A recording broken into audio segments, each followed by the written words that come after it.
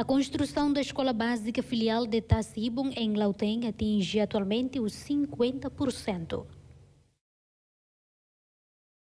A construção da escola básica filial de Tassibum em Lauteng foi antigamente parada durante três meses.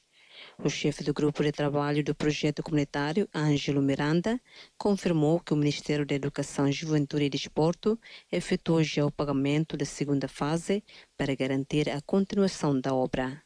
O projeto de construção do estabelecimento de ensino atinge atualmente os 50%. O ensino básico filial de Tassiibo não reuniu condições que dificultam as atividades letivas, principalmente na época da chuva.